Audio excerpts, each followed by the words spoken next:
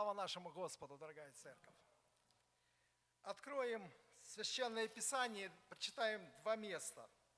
Это Иеремия, 15, 15 глава, 19 стих. И второе место Священное Писание – это Матфея, 5 глава, 48 стих. Читаем пророка Иеремию, 15 глава, 12 стих. На сие так сказал Господь, если ты обратишься, то я восставлю тебя, и будешь предстоять пред лицом моим. И если извлечешь драгоценное из ничтожного, то будешь как мои уста, они сами будут обращаться к тебе, а не ты будешь обращаться к ним. Евангелие от Матфея, 5 глава, 48 стих. Итак, Будьте совершенны, как совершен наш Отец, Отец ваш Небесный. Дорогие друзья, дорогая церковь, поздравляю вас, пользуясь моментом, вышедший здесь, с наступившим же Рождеством Христовым и с наступающим Новым годом. Анатолий вспомнил Самуила. Самуил ставил камень. И у меня вот такая вот ассоциация, когда мы собрались здесь на этом месте, что мы вот этим нашим служением ставим вот этот камень, камень памяти, на котором написано 2020, тот год, который мы прожили. И на этом годе, наверное, каждый из нас может подписаться и написать, что Господь – помощь наша. До сего места помог нам Господь. Мы вступаем в Новый год, дорогие братья и сестры. Информации очень много. Нам ничего не, как бы, ну, не описывают или не говорят наперед, что будет лучше, дорогие друзья. Но знаете, когда мы вот вступали в этот 20 год, то похожее было. Но, братья и сестры, Господь благословил, и мы имеем свое здание. Слава за это нашему Господу. Никто из нас, наверное, вот вступая в этот год, ну, наверное, в самых лучших своих мечтах не думал и не мечтал, что так состоится. Но Господь совершил, Господь помог, было определенное движение братьев, сестер, желание было. И Господь так устроил, что в этом году, которые говорят, не так очень он хороший, а мы имеем свое помещение. А мы здесь вот в этом тепле, в красоте, в этом новом всем собираемся и можем на этом камня, как ставил Самуил, ставит тоже, что в этом году, 20-м, помог нам Господь приобрести свое здание. Да благословенно будет в этом имя Господа нашего Иисуса Христа, братья и сестры. Прочитано два места Священного Писания. И в этих двух местах Священного Писания, братья и сестры, а, вот если мы посмотрим, одни слова Иисуса Христа, вторые слова Господа, которые были обращены к Иеремии, то здесь открывается сущность Божья, братья и сестры. Во-первых, сущность Божья в том, что Бог – это движение, это жизнь. А если понять, если жизнь, ну, например, человек вот как бы лежит бездыханно, да, ему э, ухо прислоняешь к сердцу, смотришь пульс, ага, движется, движется, есть движение. А если есть движение, то он живой. Братья и сестры, наш Господь – это жизнь. Наш Господь – это движение. Иеремия был в таком положении, в таком состоянии. Господь его поставил пророком для Израиля в очень трудное, непростое время. И, можно сказать, Иеремию было тяжело, он сжат был. Был голод в то время в стране. Были пророки, которые предвещали хорошее на будущее для Израиля. А Иеремии Бог открывал совсем другое – что народу нужно покаяние. И, Иеремия видел состояние народа, и он молился за этот народ. И даже мы здесь, когда читаем, мы понимаем, он был в такой даже болезни. Ему было очень-очень трудно называть это болезнь. Господи, вот меня эта болезнь доколе.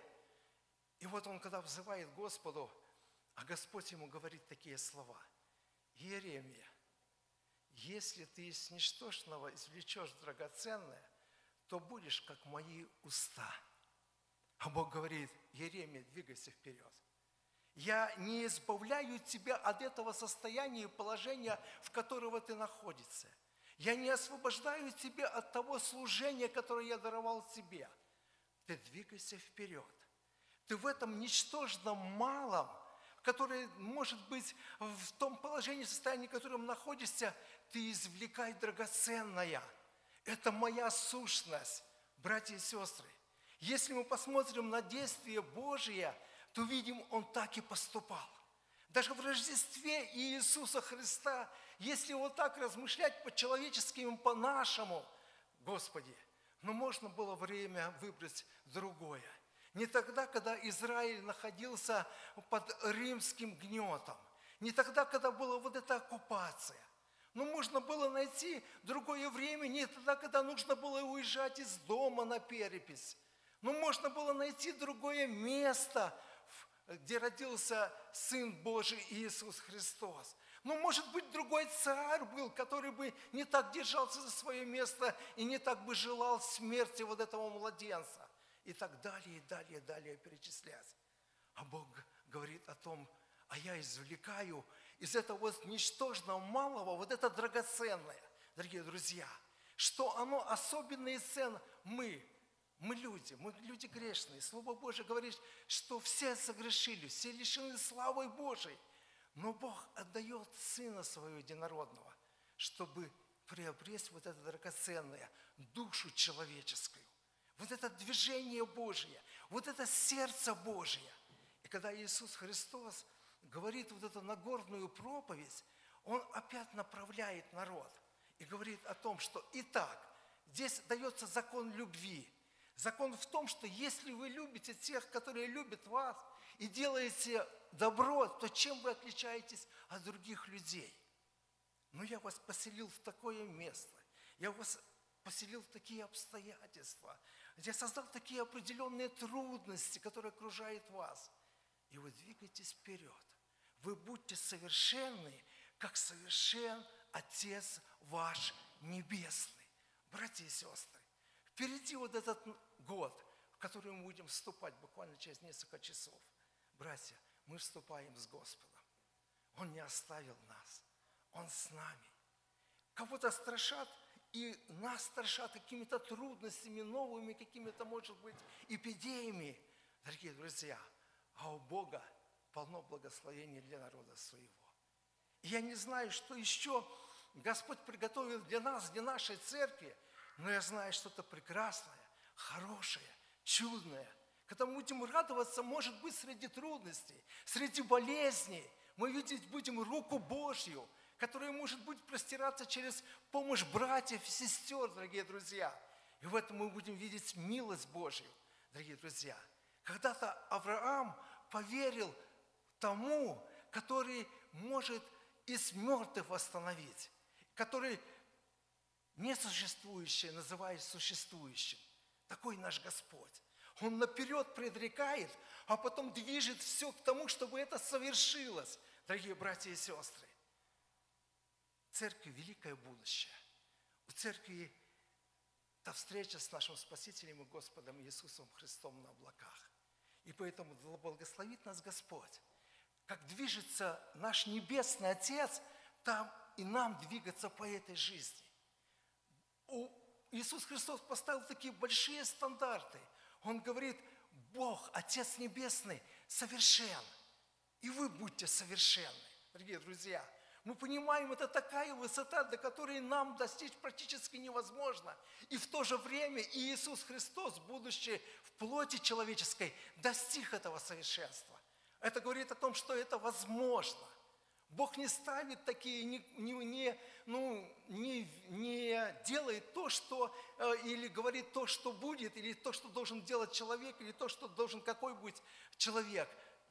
То, что не сбывается, то, что невозможно достичь. Это высота, куда должны мы стремиться, дорогие братья и сестры. Я верю в то, что этот год, следующий Бог досылает, посылает нас для того, чтобы нам достичь этой высоты. Каждому из нас в отдельности – и как церковью Божией. Поэтому да благословит нас Господь, чтобы нам вот таким вот, ну, с надеждой, с верой, с упованием, дорогие друзья, несмотря, может, на многие какие-то обстоятельства, которые вокруг нас, но знать, что Бог с нами. А если Бог с нами, кто против нас? Если Бог Сына Своего не пощадил ради нас, разве нам не дарует все вместе с Сыном Своим?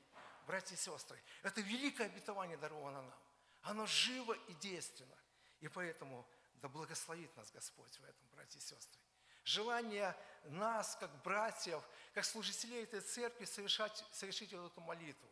Молитву благодарности Господу.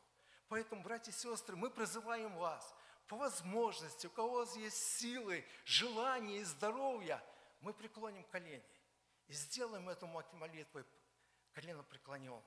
Поэтому, братья и сестры, у кого есть желание, у кого есть молитва на сердце, пожалуйста, молитесь во имя Иисуса Христа. Ему слава за все. Аминь.